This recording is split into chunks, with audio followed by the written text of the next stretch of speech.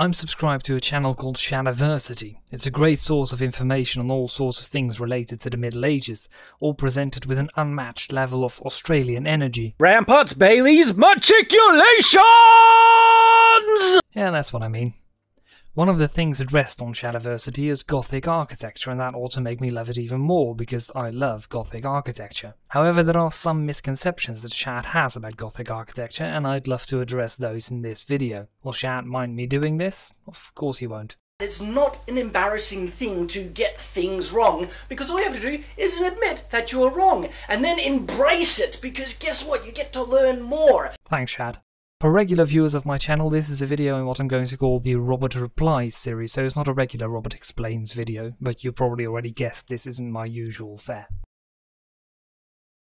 Two days ago, Shad released a video titled What is a Neo-Gothic Castle? It's a great question, and on the whole, he does a great job explaining it, particularly this part. Because the concept of what is truly neo-Gothic is a convoluted mess. Yes, it is, and I highly appreciate how Shad manages to create some semblance of order within this convoluted mess. Less than half a minute later, those things start to go awry a little. Within the medieval period, there is a good distinction between castle and Gothic architecture. And this is repeated later on. There was a distinction between castle-like architecture and Gothic-like architecture in the medieval period. I'm afraid to have to say that this is not quite true. It's also a bit illogical. After all, castle architecture is architecture built for a purpose. It's all about keeping defenders safe and attackers in perpetual danger. Whatever aspects of architecture you might need for this purpose, you would readily adapt because it's all about functionality, or rather it is on the outside. The insides of castles tell a different story. Gothic architecture, on the other hand, is actually, I'll let Shad explain what he believes characterizes Gothic architecture. It is generally characterized by upward pointed lines, slim towers, delicate embellishments that are placed in repetition to one another, arches that comprise the structural kind of layout of the building as well as the windows. You have lancet windows, which are tall, thin windows placed side by side to one another, ribbed vaults, and of course buttresses and flying buttresses. Now I've got a whole Robert Explains video planned on Gothic architecture, so I won't go into too much depth about the particulars here, but Shad is mostly right. However, he does seem to derive this list of features primarily from churches. This is quite a tempting thing to do because most of the surviving Gothic buildings are churches. Now I'm lucky enough to live in the Low Countries and even luckier to have laid my own eyes on some of Gothic architecture's finest examples medieval Flemish city halls. These buildings look drastically different to Gothic churches, but we can also see similarities. Shad already mentions the focus on the vertical, which is not always as pronounced in Gothic non-church buildings, but often still present. Also mentioned in Shad's video are arches that comprise the structural layout and windows. Check. Shad forgets to mention that these are specifically pointed arches, but more of that later. Also mentioned are ribbed vaults, and check, we have those here as well. Buttresses are also present, just to give us a final check on our list. So what really is the characterizing feature of Gothic architecture? Both of these buildings are fine examples of Gothic, but there's one thing that their entire design is based on the pointed arch. Wikipedia would argue that there are three distinct inventions that led to the transition from Romanesque to Gothic aforementioned pointed arch, the ribbed vault, and the flying buttress. I wouldn't want to argue with Wikipedia, but I would suggest that actually all these features are derived from the pointed arch. You see, pointed arches are pretty, and so it's easy to assume they were adopted purely for stylistic reasons. In fact, Shad himself regularly says the words Gothic style architecture in his video. In reality, though, the beauty of the pointed arch is second to its practical purpose.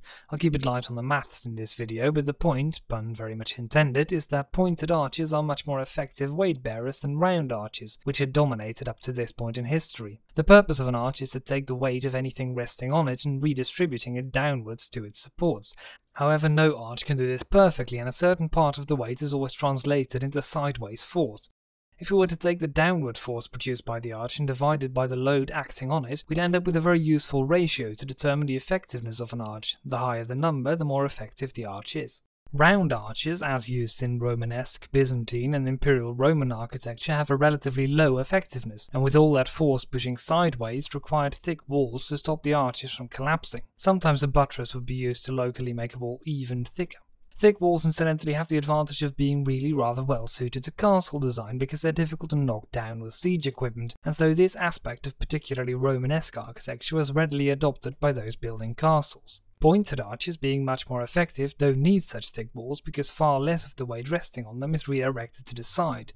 Because of this effectiveness, much higher ceilings were also practically feasible. When combined with a groin vault or ribbed vault, walls weren't structurally required anymore at all, and a building could simply hold itself upright with mere columns and buttresses. And once it was realized that those buttresses needn't be directly attached to the walls or columns, but could use a half arch to make them into flying buttresses, this light and airy quality of Gothic architecture was made even more prominent. The lack of a need for walls was heavily exploited by medieval architects, who replaced these thick walls with large windows. Possibly the greatest example of this is the Sainte-Chapelle in Paris, a building that I believe, incidentally, to possibly be the most beautiful building in the world.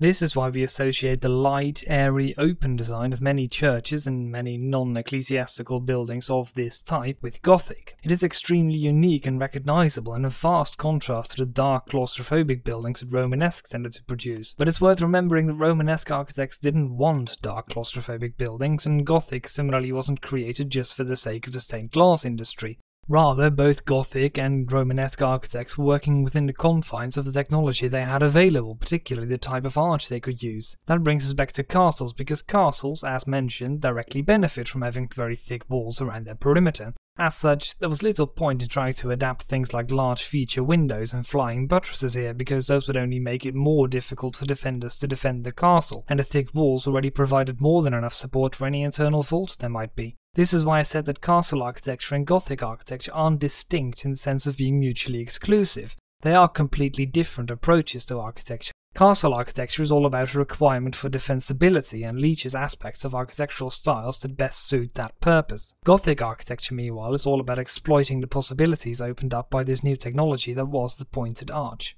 Gothic churches are at the extreme end of this exploration, but that doesn't mean that only the extremely light and open design of churches qualifies as Gothic.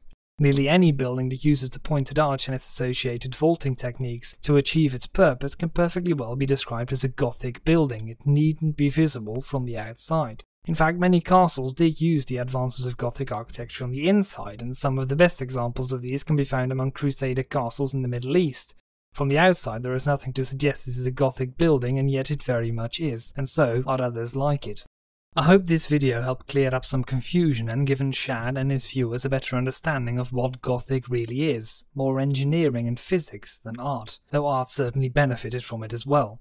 I'd just like to close off by saying that my respect for Shad and his videos is still great, and that if any of my vast army of subscribers is looking for channel recommendations, Shadiversity is a channel I can wholeheartedly recommend you subscribe to. Similarly, if any of Shad's viewers watching this video would like to subscribe to Robert Explains, that would be tremendous as well. There's certainly a whole future video about the finer aspects of Gothic architecture coming up, so that's something to look forward to. Until next time.